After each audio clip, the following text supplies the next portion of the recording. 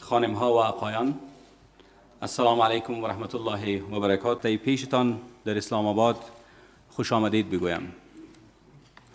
می خواهم با اختنام از این فرصت به خاطر میزبانی حکومت پاکستان از اولین نشست گروه کاری هماهنگی چهار جانبه ابراز سپاس نموده و همچنان به این گروه پیشرفت خوب کاری به شمول توافق روی لایحه کاریشان را تبریک بگویم.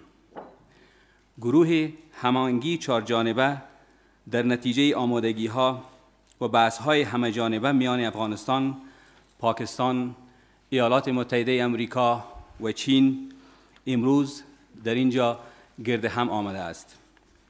این آمادگی ها و بحث های همه جانبه شامل دیدار جلاد ماب رئیس جمهور افغانستان محمد اشرف غنی و جلاد ماب صدر اعظم پاکستان محمد نواز شریف به تاریخ نوی قوس در پاریس.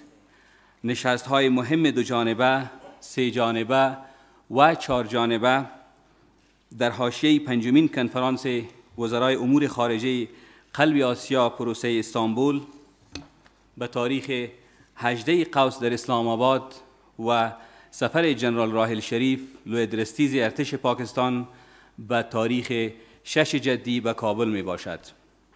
امیدوارم که نشست امروز فضای خوبی را که در نتیجه این تلاش های کلی و همچنان نشست هفته گذشته گروه هماهنگی چهار جانبه در اسلام آباد به میان آمده است تداوم ببخشد. ما به همه بحث ها و تصامیمی که تا اکنون در این چارچوب به هدف تعیین مکانیزم مکانیزم های مشخص برای کار مشترک و تشریک مسائل موثرتر در راستای تأمین امنیت و ثبات در افغانستان، پاکستان و منطقه صورت گرفته است اهمیت ویژه‌ای قائل هستیم.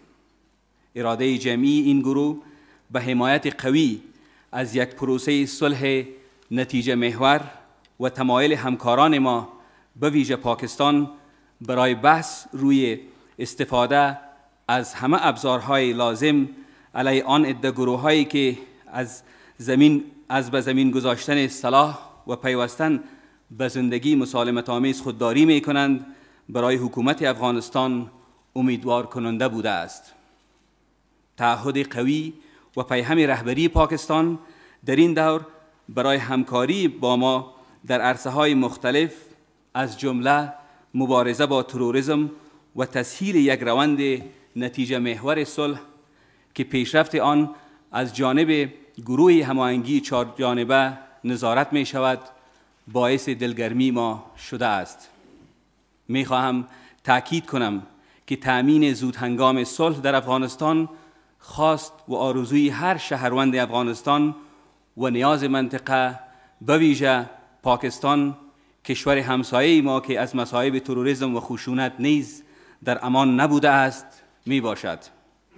بدون شک مردم افغانستان سالها است که از خشونت و ویرانی بیش از حد رنج می‌برند. هیچ خانواده ای نیست که از این اعمال وحشیانه و مرگبار تروریستی که در همه شهرها و رستاهای ما صورت می‌گیرد متأثر نشده باشد. فرزندان ما دختر و پسر در راه مکتب مورد, مورد حمله قرار می‌گیرند و مساجد محلات عامه ما زیر نام یک دین با عظمتی که پیام اصلیش صلح و همزیستی مسالمت آمیز است منفجر می شوند از این رو بار دیگر با استفاده از این فرصت می خواهم به نمایندگی از مردم و حکومت افغانستان از همه گروه های طالبان دعوت نماییم که پیام ما به صلح را پذیرفته به میز گفتگو حضور یابند تا بتوانیم همه اختلافات را به گونه سیاسی حل کنیم. و آرزوی برحق و به جای مردم افغانستان برای رسیدن به صلح پایدار را که از حمایت قوی اعضای این گروه هماهنگی چهار جانبه برخوردار است محقق سازیم.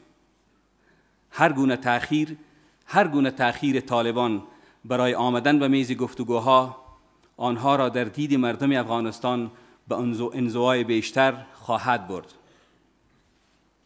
آنهایی که فرصت, فرصت از آنهایی که فرصت پیش آمده برای پیش پیوستن بر صلح را از دست می دهند به گونه آشکار ثابت می سازند که یک افغانستان دارای حاکمیت استقلال ثبات صلح و رفاه به نفع آنها نیست و اهداف آنها دهشت افغانی و ویرانگری می باشد. امیدواریم که گروه هماهنگی چهار جانبه بتواند همچنان راه های برخورد مشترک با آنهایی را که آمدن به گفتگوها را رد می کنند نیز دریابند. خانمها و آقایان مردم و حکومت افغانستان اطمینان دارند که به حمایت دو عضو مهم این گروه یعنی ایالات متحده امریکا و چین قادر خواهیم بود روند صلح موثری را آغاز کنیم که نتایج به موقع مورد انتظار ما را در پی داشته باشد. امیدوارم که بحث های گسترده امروز شما زمینه را برای آغاز گفتگوهای صلح در آینده نزدیک مساعد و گام های بعدی را که باید در, هر مرحله این روند برداشته شود مشخص سازد.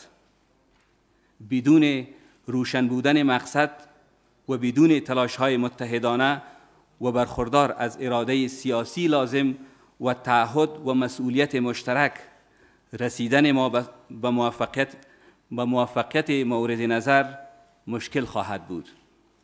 همان گونه که برای رسیدن به یک صلح پایدار نیاز به صبر و حوصله را درک می کنیم باید در نظر داشته باشیم که مردم افغانستان به پروسه‌ای که پایانش نامعلوم و بدون نتایج ملموس باشد باور نخواهند کرد. بنابراین هر گامی که به پیش می رویم مردم افغانستان در مورد موفقیت ما با در نظر داشت سرعت کاری که آن را امروز تعیین می کنیم قضاوت خواهند کرد.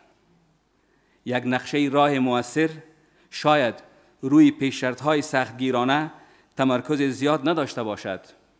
اما خطوط سرخی را که باید برای پایبندی جدی به آن ترسیم نموده تا از نتیجه بخش بودن پروسه صلح و احترام به همه قربانی های مردم افغانستان اطمینان حاصل شود.